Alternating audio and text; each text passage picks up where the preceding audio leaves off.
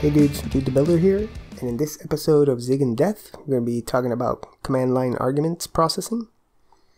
Uh, first things first, I want to give a big thank you to Phage Kai, who made a donation to the channel. Um, I really appreciate it, and um, if anybody else wants to pitch in and help out making this type of, of learning content, You'll find the link in the description and in the channel homepage. So, Phage Kai, thank you very much. Command line argument processing is a really important part of uh, developing tools, command line tools, which has grown in popularity uh, recently with systems programming languages. And in Zig, you have uh, several options. First, we're going to be taking a look at uh, how to do it with just the Zig standard library. Uh, we have the first case is when you're not targeting uh, the Windows platform. Pretty much any other platform, you can obtain an iterator over the uh, command line arguments passed in via uh, the stud process args uh, function call. And that will return an iterator over each of the arguments and it's important to note that the first one of those arguments is going to be the, the actual program name itself. And this iterator doesn't need any type of allocator. Um, when, when we see uh, further down, in the case of Windows, you will need an allocator for, for its command line arguments processing. So if you're going to be doing uh, multi-platform uh, programming, which will include the Windows platform, you will need an allocator. But uh, in all other cases, you can use this uh, args iterator from stud process args. And once you have that, you can start uh, using the next method. The next method will return an optional string, an optional slice of const 8. And um, I'm using here next with the question mark operator here because we know that at least we have to have this first um, argument, which is going to be the name of the program itself. And I'm printing it here in this message. And then for the rest, um, I'm pretty much looping over with a while loop in its optional modality here. It's going to be uh, calling the next method um, of this args iterator until it reaches a null, which means that there are no more args and then uh, we capture here the arg, we increment our counter, and we print out a message with the argument number and the string argument itself. So basically with uh, these types of argument iterators, all you obtain are the string version of those arguments passed in the, in the command line if you want to do any processing, any type of processing, you have to do it yourself. Um, you have to process those strings. If you want to, uh, you have to convert them to numbers, or if you you want to treat them differently, if it's a short um, flag type of parameter with a dash, or or a long name with double dash, things like that. All that processing you have to do it yourself. All that parsing and processing of the of the arguments basically what these iterators uh, provide is just uh, a mechanism to obtain those arguments that were passed in. Pretty much like in C um, that the main function receives uh, the, the count of how many arguments and an array of the arguments. Well these iterators uh, pretty much provide that same functionality. In the case of Windows as I mentioned we're going to be needing an allocator. And here, to uh, mix things up a little, instead of using the general purpose allocator as we usually do, I wanted to uh, demonstrate how to use a fixed buffer allocator in this case. You could use any other allocator, um, like the general purpose allocator, but I just wanted to show a little different uh, an, an example here. I'm creating here an array of 1024 bytes, and I'm um, creating here an instance of the fixed buffer allocator Based on that array, I'm passing in a pointer to the array, which will be coerced to a slice of, of bytes. And here I am then calling the allocator method to obtain the actual allocator instance from the fixed buffer allocator. And as you can see, I don't have to call deinit on the fixed buffer allocator because we are dealing with stack memory. We're not we're not we're not really allocating on the heap. So once main finishes and its stack frame is removed, this memory will be cleaned up automatically. Okay. Now we'll see an example of using uh, the actual uh, args uh, iterator with an allocator this time we're calling process args with allocator and passing in our allocator instance. And what that returns is pretty much uh, an args iterator, just like in the case of args. But this time you have to remember to call deinit on this instance of this iterator because it is allocating and you have to free the resources. Okay. Now here pretty much the, the, the functionality is just the same as we did before. The, the first um, item in that iterator is going to be the, the binary itself. And then we can use a while loop to iterate over any other uh, existing arguments, just like we did before. And now that's pretty much what, what you have available in the standard library of Zig to handle command line arguments we're going to take a look at uh, a package from the ecosystem. It's called ZigClap, and it's a very powerful command line argument processor. And uh, here we have an example of why it's it's such a powerful processor. It has a parser that can parse basically the help message that you usually find in command line tools. You provide the text um, here via a multi-line string. This is a multi-line string.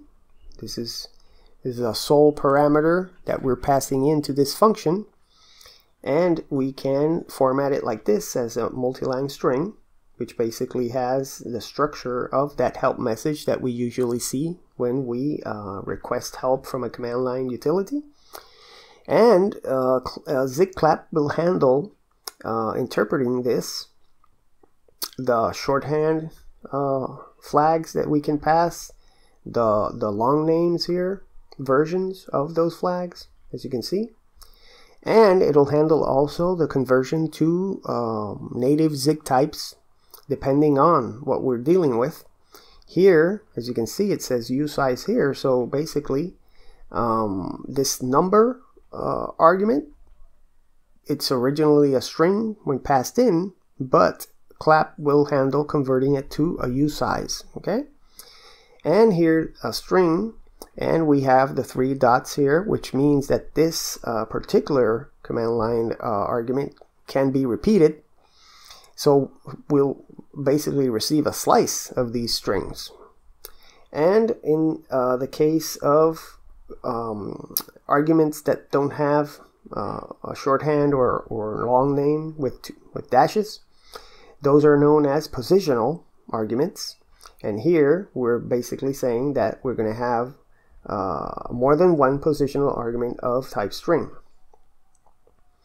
So let's take a look at what we have to do to parse that. We're going to be calling here the parse function uh, from our clap namespace that we imported. And we specify here that we're going to be using the default clap parser. Um, we can define our own uh, parsers in clap. I encourage you to check out their README and their, their examples in the GitHub repo. And uh, here we're specifying the allocator that we're going to be using because since it's going to be parsing uh, the, the text and converting, uh, it will need to allocate.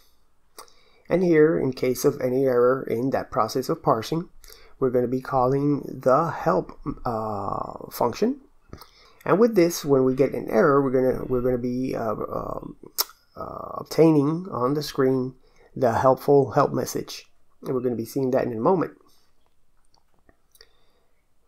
And once we've done the parsing, we have to remember to uh, call deinit when we're finished on that result because it's going to be allocating. And now, if everything uh, has been parsed successfully, uh, we're going to have in that result uh, a series of fields that are basically the different uh, command line arguments that we have defined. Here, as you can see, uh, we have the args field and we're uh, accessing help. So we're basically um, uh, checking here if, if help is not zero, it means that it was set. And then what we do is once again call the help function from clap. In the case of uh, the number, it was uh, specifically uh, a single number argument. This will be converted to a size, as I mentioned. If you want to uh, convert to other types of, of, of numeric types, you can uh, define your own parser uh, you'll find an example of that in the in the GitHub repo, as I mentioned. Here we're printing out that number. Um, the uh, string uh, argument uh, accepted one or more strings, so we can iterate with a for loop and capture each one of those strings. And here, as you can see, we're using the S format specifier because indeed each one of those was, was processed as a string. And uh, the remaining, uh, the positional arguments are going to be all in this uh, positionals field. And um, we can iterate over them with a for loop, capture them, and print them out as strings. So let's move on over here to the terminal. Um, if we do a zig build run 1-n42, you'll see that we get the help message for zig build and that's because we're passing the arguments to zig build itself and we, we actually want to pa pass these command line arguments to the binary that we're going to generate we can do that with the double dashes here. Um, what this means that anything after these two dashes is going to be passed in to the generated binary. So here we have a position of 1 we have uh, this parameter dash n which is a number. Um, let's use the shorthand here, the string, hello, and the long one, string, world. And let's add here another positional. And as you can see, the non-allocating iterator will give us the full path of the binary and all of these command line arguments just like strings. Um, there's no special processing here. Uh, the allocating version that you can use on Windows. Here's the binary, the full path, and exactly the same uh, treatment of all of the arguments, just like uh, they're just strings. No special processing there. And zigclap does uh, the special processing. We have that number that we passed. It treats it as a number, 42. Uh, the strings, we have both, we used uh, the shorthand and the long, and it did identify them as that uh, parameter that can be specified multiple times and the two positionals, 1 and 2, which were spread out. As you can see, we have one here at the beginning and two at the end, and it still uh, identified them. Okay, now we can also use that with the generated binary directly. Let's go to zig out bin. Okay, now we have here the generated binary, we're going to be using those same parameters, and we get exactly the same output and if, once again, we use the binary and with dash, dash h, we're going to see the helpful uh, help message display. You can also get that with the long version. Okay. And if you pass in an unknown, an unknown um, argument that you didn't define, we uh, configured it so it'll display once again that same help message. Okay. So with that, that's pretty much what, I wanted to demonstrate. Um, you have to keep in mind that when you do use the standard library arguments uh, iterators, uh, there is no special processing of, of, flags or anything like that. They're just strings and you have to process them yourself. If you want a, a, a powerful uh, command line args processor that's already uh, handling all that for you, you can use zigclap there are others in the ecosystem. You, you can uh, check, uh, do a search and you'll find others. I just uh, demonstrated zigclap because it seems to be one of the most popular ones in the ecosystem. So I hope you find this useful. Dude the Builder here. I'll see you in the next one.